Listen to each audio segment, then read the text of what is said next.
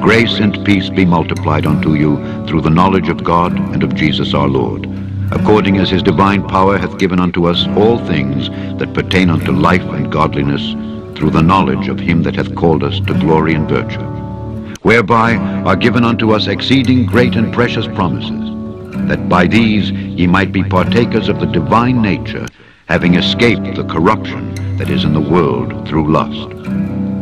And beside this, giving all diligence, add to your faith virtue, and to virtue knowledge, and to knowledge temperance, and to temperance patience, and to patience godliness, and to godliness brotherly kindness, and to brotherly kindness charity.